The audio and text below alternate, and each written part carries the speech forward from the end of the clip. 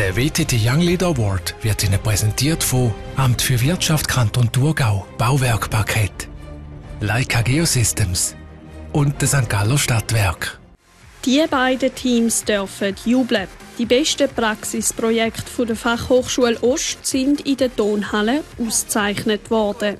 Der Gewinner vom WTT Young Leader Award 2021 ist Team Gebäudeversicherung St. Gallen. Wir haben es bis zum Schluss nicht erwartet. Und umso mehr freuen wir uns darauf, dass wir jetzt den doch gewonnen haben, dass wir hier oben stehen und eben den Pokal entgegennehmen. Die Studierenden haben ein neues Schadensformular entwickelt. Das, weil sie herausgefunden haben, dass jeder Kunde seinen Schaden individuell gemanagt haben Zum Beispiel, ob ein Versicherter lieber Fotos von seinem Schaden macht oder ob ein Experte vorbeikommen Wir feiern jetzt vermutlich so, dass wir zuerst einmal Apero machen miteinander und äh, ein bisschen lustiger haben.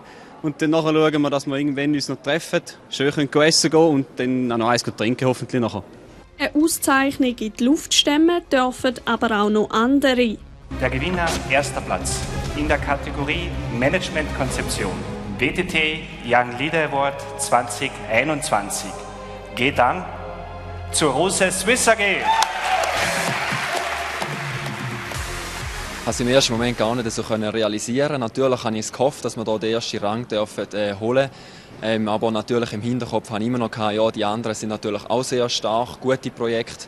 Ähm, und jetzt am Schluss ist es natürlich einfach ein wunderbares Gefühl.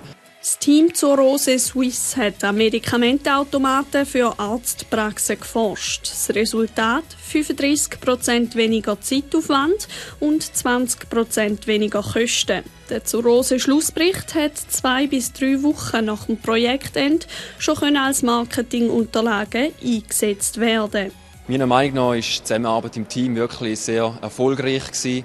Ähm, die verschiedenen Leute haben verschiedene Backgrounds mitgebracht und das ist glaube ich, auch wirklich ein, ein Erfolgsfaktor gewesen, wieso dass wir jetzt hier stehen. Aber nicht nur die Studenten selber. Auch die Jury ist zufrieden mit dem Resultat der insgesamt 36 Teams, die vier Monate an dem Projekt geschafft haben. Ich bin jedes Jahr absolut überrascht, wie man immer aus der Situation, die man hat, und jetzt ist sie ganz speziell gewesen, einfach wieder das Beste macht. Und ich glaube, da zeichnet auch ein Praxisprojekt aus, dass man sich der Situation anpasst, dass man schaut, was sind die Rahmenbedingungen und jetzt ob online oder nicht online ein gutes Resultat bringt. Dass alles ein bisschen anders gelaufen ist unter Corona, ist aber nie ein Grund gewesen, den 13. WTT Young Leader Award abzusagen. Ganz im Gegenteil, wir haben gesagt, jetzt gerade erst recht, oder? Äh, und die Projekte kommen jetzt gerade eine andere Bedeutung nochmal über, weil zusätzliche Komponenten dazu kommt, wo für alle ein Lerneffekt ist.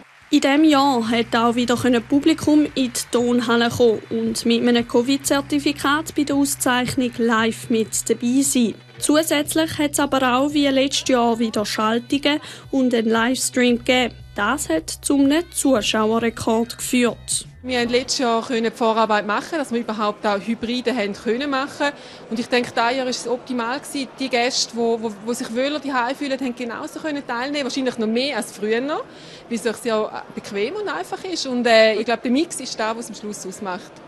Und so wird auch nächstes Jahr im September der rote Teppich für den WTT Young Leader Award ausgerollt und die Studierenden für ihre guten Leistungen auszeichnet. Der WTT Young Leader Award, präsentiert von Amt für Wirtschaft Kanton Thurgau, Tourcom, Scandola und Gallus Media.